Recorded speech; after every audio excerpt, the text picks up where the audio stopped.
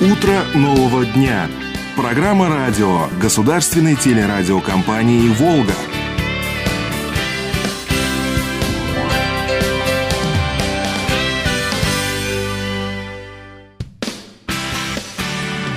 Сегодня 24 августа, как всегда по четвергам с вами Наталья Козина. Здравствуйте. Полистаем календарь забавных дат и событий – Зарядимся в начале дня хорошим позитивным настроением. Сегодня день валяния в стоге сена. Ах, как это романтично и ароматно!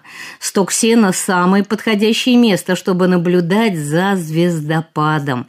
Ведь сегодня день падающей звезды. Не забудьте загадать желание. Не забудьте и прихватить с собой чипсы в честь дня рождения картофельных чипсов. Хоть и говорят медики, что это не самая здоровая еда, а мы все равно любим ими похрустеть. Да, сегодня не расставайтесь с бутылочкой воды, чтобы вас не одолела жажда – ведь сегодня день жажды. А еще день консервного ножа, Международный день странной музыки и даже Международный день против нетерпимости, дискриминации и насилия, основанного на музыкальном предпочтении, образе жизни и дресс-коде. Значит, сегодня свобода в выборе музыки, одежды и образа жизни. Можете еще пожаловаться на погоду. Ну, например, что хоть жара и спала, но пусть летнее тепло еще долго остается с нами. Ведь сегодня день жалобы на погоду. Сегодня, на удивление, щедрый день на всякие чудачества. Отмечаем День персикового пирога, День вафель, Ночь ностальгии и День ножа – Нож, да, достоин всех похвал. Его изобретение уходит в такую глубь веков, во времена обитания первобытных людей, а нужным приспособлением остается до сих пор. Переведу эту аналогию на нашу историю. Так хочется, чтобы и в истории что-то делалось раз и навсегда полезное для человечества.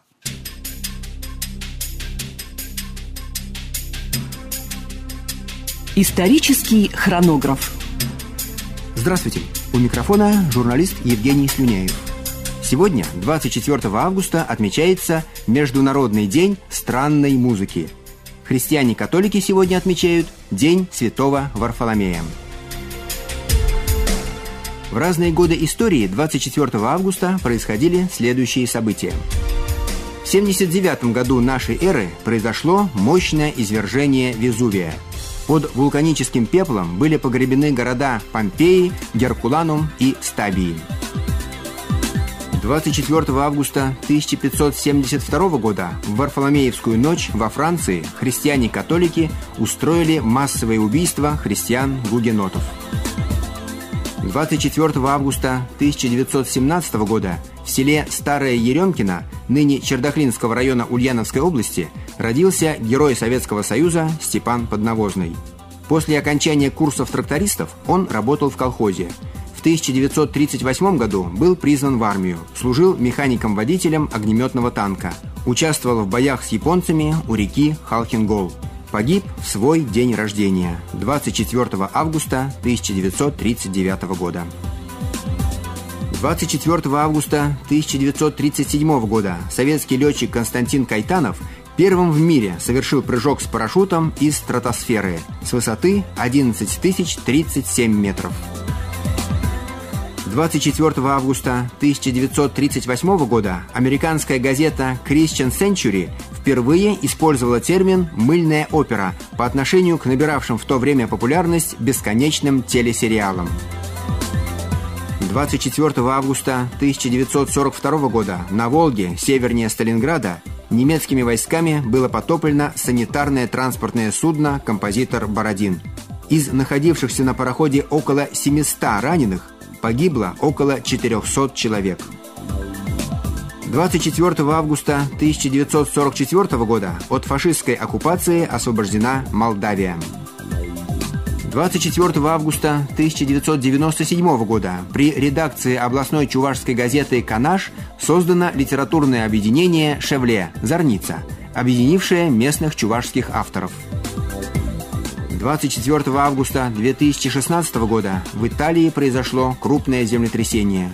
Погибло 295 человек.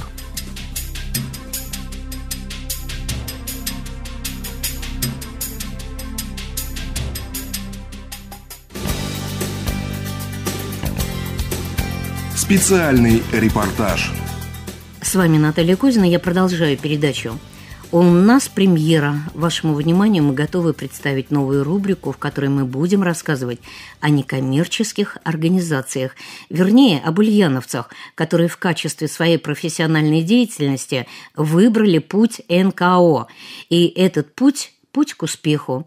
Да, тернистый и извилистый, как правило, особенно в начале, но из года в год этот путь становится все более ровным и уверенным.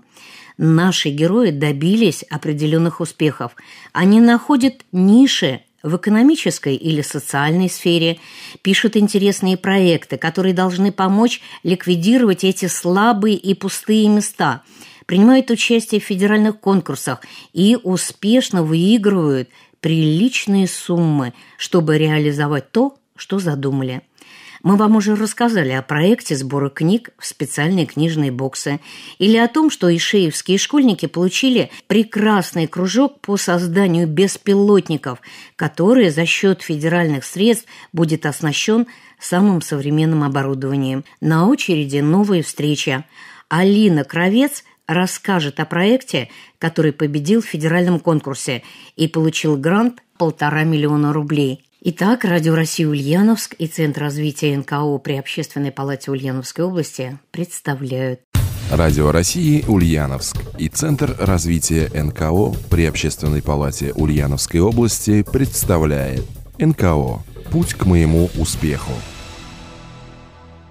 Слушаем Аиду Дадонову, руководителя Центра развития НКО при Общественной палате Ульяновской области, и Алину Кровец. Ее проект «Лига школьного телевидения» выиграл федеральный грант на сумму полтора миллиона рублей. Будем говорить для наших слушателей немного про историю НКО, когда они появились, вообще из чего они стали развиваться. На самом деле некоммерческие организации в нашей стране существовали достаточно давно. И, в принципе, благотворительность, она а, на Руси раньше носила, ну, скорее, церковный характер, потому что при различных церквях существовали э, волонтерский труд, э, которым занимались монахини и священнослужители свойственны только как раз некоммерческому сектору. И также благодаря тому, что в церквях существовали какие-то приходы, там собирались пожертвования, которые потом также расходовались на какие-то общественно полезные нужды. Да? То есть вот можно сказать, что это вот было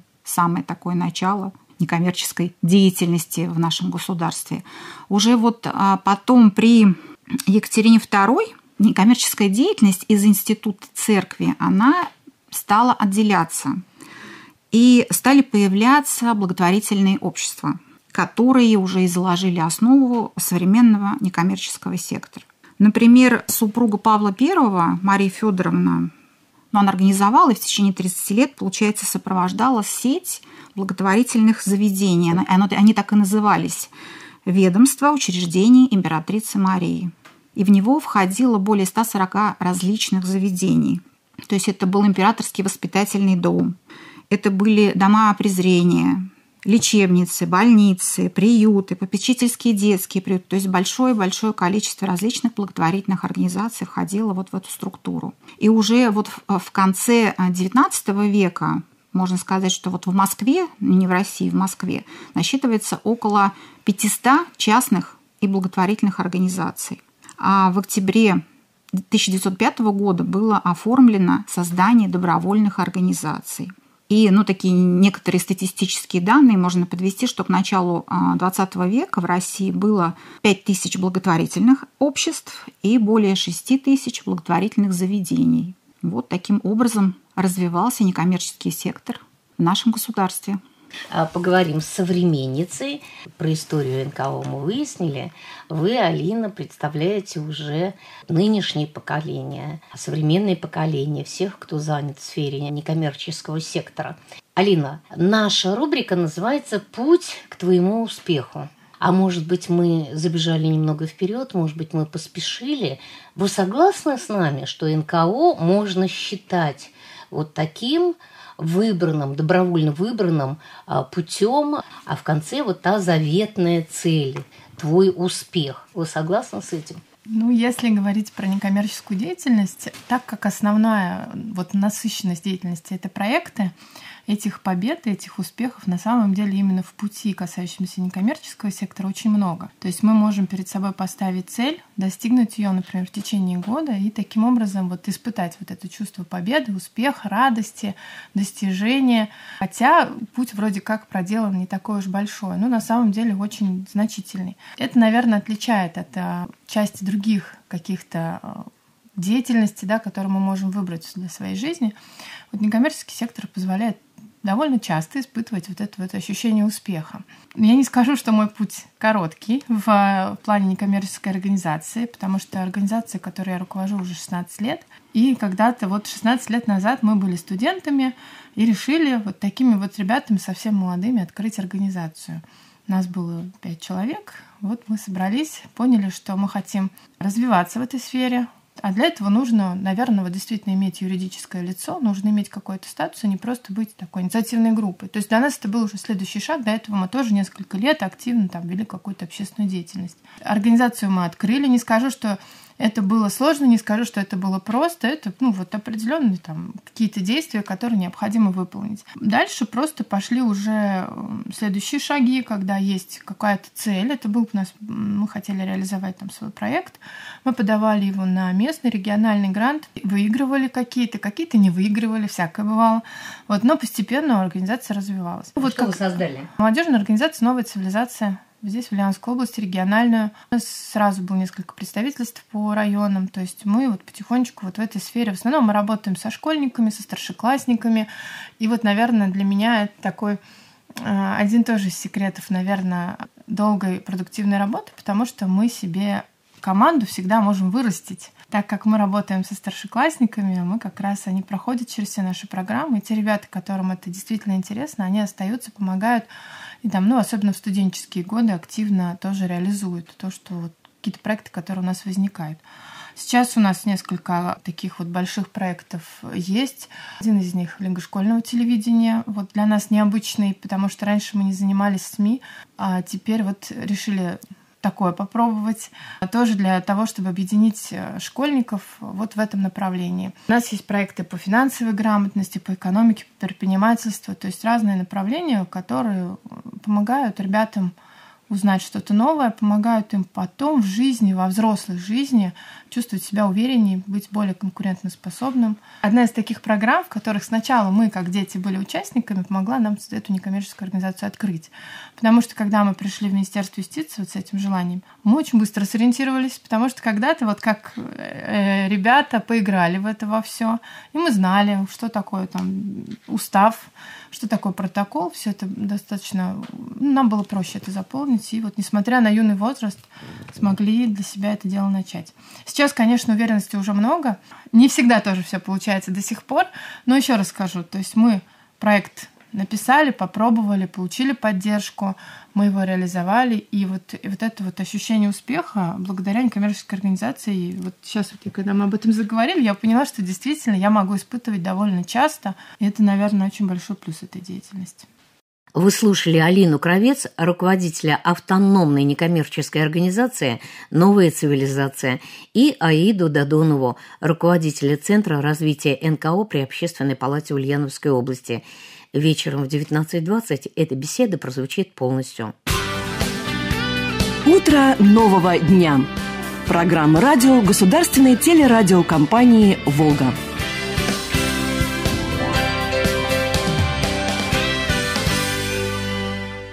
Мы продолжаем вас знакомить с программой Международного фестиваля искусств «Аркадия».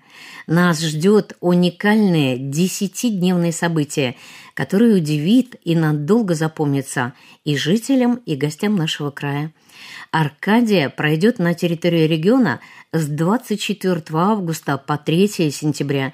Фестиваль такого масштаба впервые проводится в Ульяновской области благодаря поддержке Министерства экономического развития Российской Федерации и регионального правительства в рамках национального проекта «Туризм и индустрия гостеприимства». Слушаем исполняющей обязанности министра искусства и культурной политики Ульяновской области Марину Михееву. Расскажите, что пройдет в субботу, 26 августа. 26 августа в субботу детей и подростков вместе с родителями мы рады пригласить в школу научного комикса, который будет работать на территории торгово-развлекательного центра «Аквамол». И каждый желающий с помощью сторителлеров и художников с мировым именем сможет сделать свой комикс на основе городской истории, легенды или научного факта. Сторителлеры э, наглядно покажут и расскажут о том, как рассказывать истории в картинках и почему за комиксами будущее. Помогут придумать сюжет для комиксов, а художники художники а, помогут разобраться в материалах для создания комиксов и техниках рисования. Итогом реализации программы станет издание каталога комиксов, куда войдут все работы участников проекта. Здесь также требуется предварительная регистрация в группе ВК. А что вы готовы предложить любителям литературы? Любителей литературы и новинок книгоиздательской деятельности мы приглашаем на молодежную набережную Аквамола в этот день на книжный фестиваль «Перекресток», где также можно познакомиться с презентацией двух новых книг. Какой будет концертная программа в субботу 26 августа? Концертная программа этого дня будет доступна жителям и гостям Ульяновской области на трех площадках. На малой сцене «Аквамол» выступит группа «Сестренка», город Санкт-Петербург. В Казнознаменном переулке музыкальными событиями дня станут концерты группы «Ночной проспект, город Москва, и ульяновского фан-группы «Акустические мысли», а также российского хип-хоп-исполнителя Тима «Ищет свет», город Москва. В молодежном театре в этот день будет открыта шумовая комната «Стикс». А что будет в воскресенье, 27 августа? 27 августа, в воскресенье, программу фестиваля дополнит модный показ от студии «Симпофетка Винтаж», резидента молодежного центра современного искусства, который также пройдет на сцене Краснознаменного переулка. На этой же площадке пройдут заключительные концертные программы первой части фестиваля. Можно будет услышать старинные песни разных народов в авторской обработке от группы «Поле Санкт-Петербург» и музыку советского авангарда от ансамбля современной музыки «Интертекст». Какая театральная программа?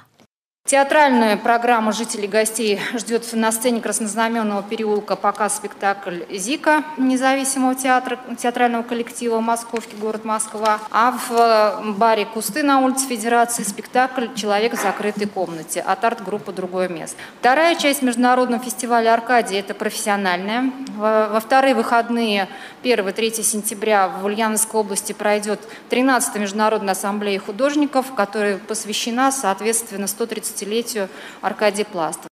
Несмотря на то, что основные мероприятия этой второй части востребованы среди профессиональной среды, но э, для жителей э, тоже много интересного в этот период э, пройдет. Так, в рамках торжественного открытия 1 сентября мы всех приглашаем в село Прислониха. Здесь пройдет концерт мужского хора Московской государственной консерватории, а в Доме музея Аркадия Пластова состоится открытие юбилейной выставки. Еще два знаковых выставочных проекта откроются в музее Пластова на Гончарова, а 2 сентября октября мы всех приглашаем на массовый традиционный пленер. А вечером всех будем рады видеть на открытии новой экспозиции в художественном музее а, на бульваре Венец. И 3 сентября, воскресенье, заключительный день профессиональной программы. Здесь также у нас откроется новая выставка из собраний Государственного музея изобразительных искусств имени Пушкина. А вот таким образом на сегодня сформирована программа Первого международного фестиваля искусства «Аркадия». Программа дополняется, уточняется, и все подробности необходимо отслеживать на вот этом специальном созданном сайте «Аркадий Фест». Всех ждем на мероприятиях. Вы слушали Марину Михееву, исполняющую обязанности министра искусства и культурной политики Ульяновской области. Она рассказала о Международном фестивале искусств «Аркадия» памяти народного художника СССР Аркадия Пластова. Этот фестиваль открылся сегодня и продлится 10 дней до 3 сентября. Радио России Ульяновск. Спорт. 2 сентября в Ульяновске состоится торжественное открытие Дворца единоборств по адресу улица Александровская, дом 32. По случаю праздника в новом спортивном объекте пройдут зрелищные состязания «Битва чемпионов на Волге-2». На ринг выйдут титулованные бойцы Федерации кикбоксинга и ММА – 2 сентября нас ждет яркое и незабываемое спортивное событие. Масштабная национальная битва развернется в первом в Ульяновской области Дворце единоборств прямо в день его торжественного открытия. А это значит, что всех ждет грандиозный праздник боевых искусств.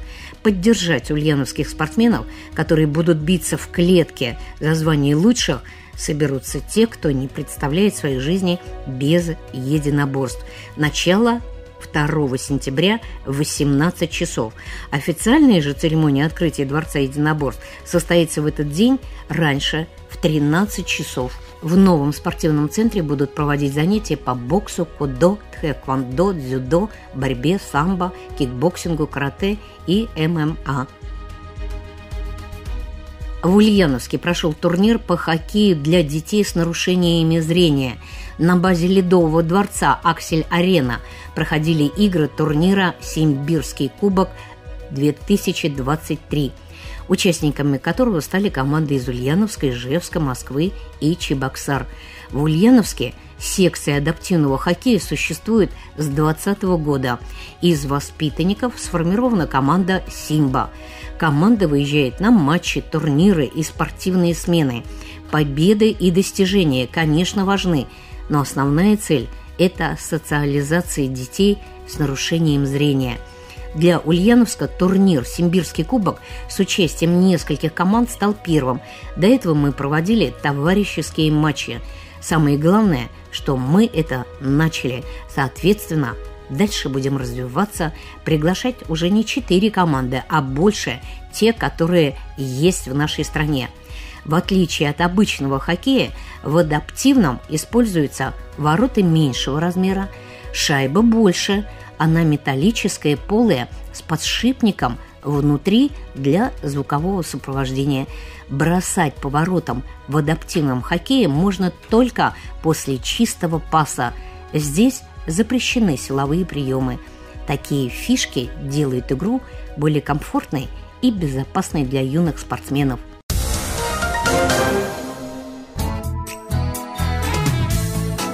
Говорим и пишем правильно.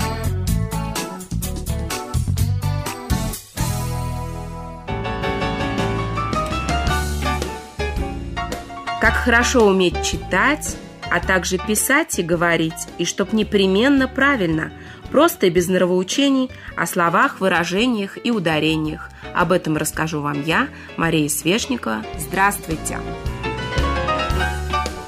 Как написать слово «гостиница» с одной или с двумя «н»?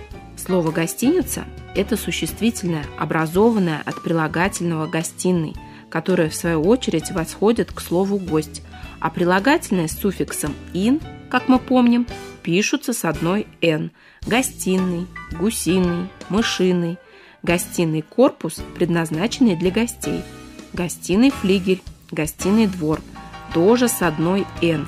Эта закономерность сохраняется и при образовании существительных. Правило работает и с существительным «гостиная» в значении помещения для гостей. Это слово также пишется с одной «н», Однако слово «гостиная» с двумя «н» тоже существует. Как отличить его от существительного? Гостиная – это прилагательное, которое как раз-таки образовано от существительного «гостиная» с одной «н». Гостиная мебель – это мебель для гостиных. Гостиный тусовщик. И здесь гостиный тусовщик и гостиная мебель мы пишем с двумя «н», а гостиница с одной.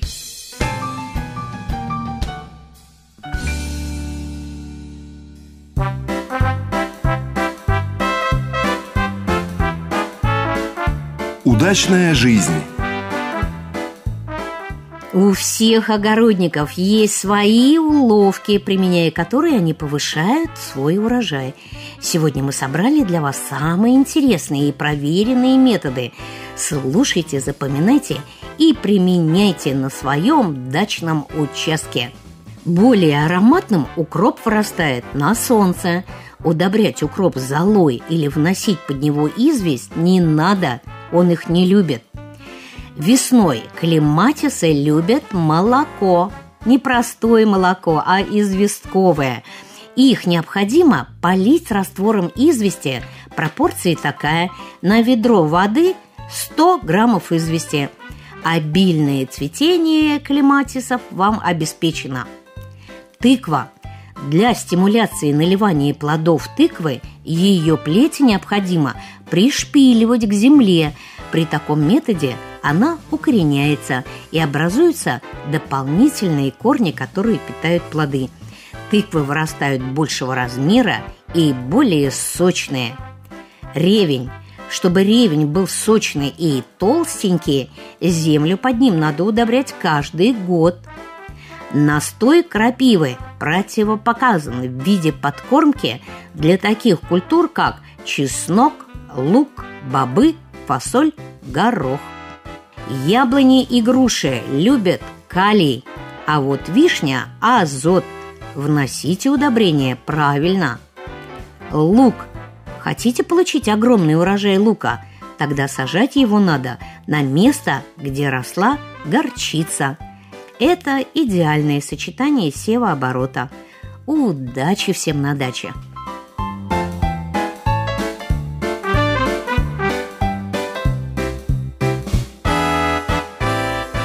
Программу «Утро нового дня» для вас провела Наталья Кузина. До встречи в дневном эфире в 12 часов 40 минут.